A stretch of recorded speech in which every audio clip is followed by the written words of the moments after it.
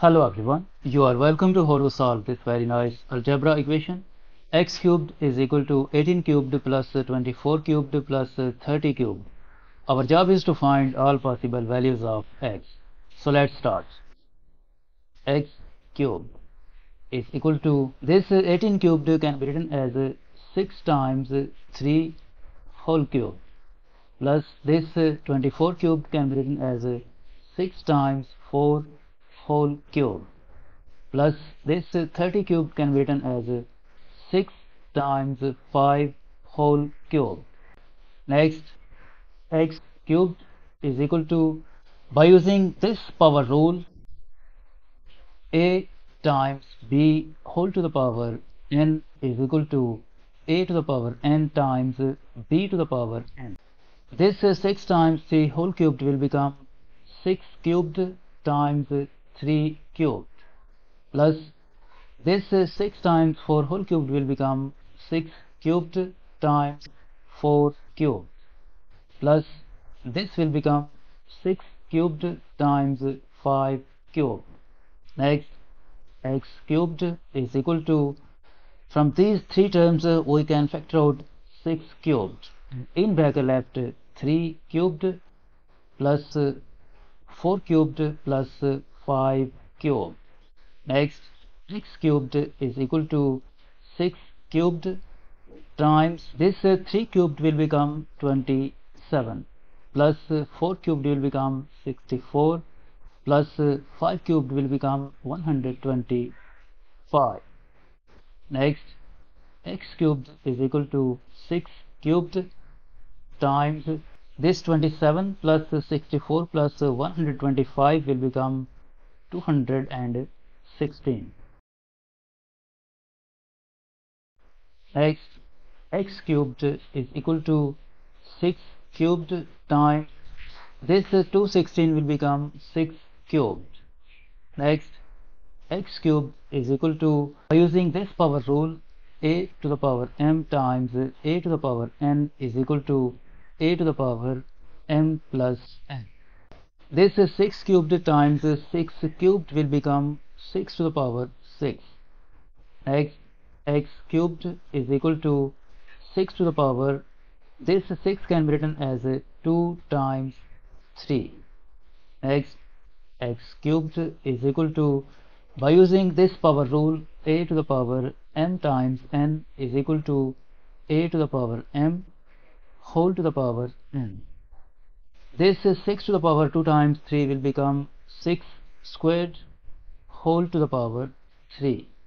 Next, x cubed is equal to 6 squared is 36. This power 3 will come here. Now we move this 36 cubed to the left hand side then this equation will become x cubed minus 36 cubed is equal to 0 and by using this algebraic identity a cubed minus b cubed is equal to a minus b times a squared plus ab plus b squared. This expression will become x minus 36 times x squared plus 36 times x plus 36 squared is equal to 0 from here either this expression x minus 36 is equal to 0 or this expression x squared plus 36 times x plus 36 squared is equal to 0 from this equation we get the value of x is equal to 36 this is the first value of x. This is the first solution of this equation. To find other two solutions we solve this quadratic equation. This is not factorable so we solve it by quadratic formula.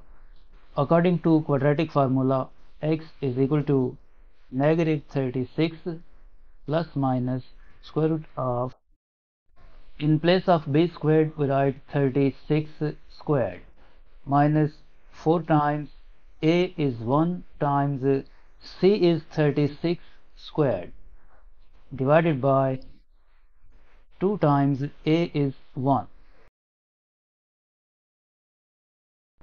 next x is equal to negative 36 plus minus square root of.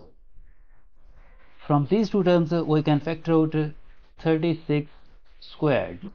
In bracket left 1 minus 4 divided by 2 times 1 2 and x is equal to negative 36 plus minus square root of 36 squared 36 squared times this 1 minus 4 will become negative 3 divided by 2 and x is equal to negative 36 plus minus this expression can be written as a square root of 36 squared times square root of 3 times square root of negative 1 divided by 2.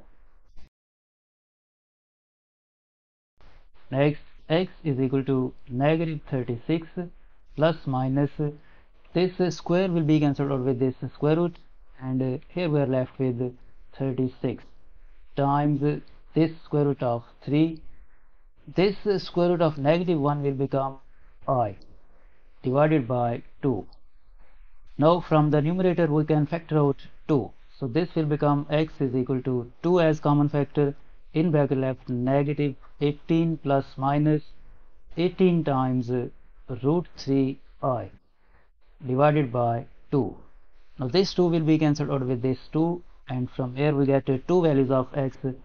X2 is equal to negative 18 plus 18 times root 3 i.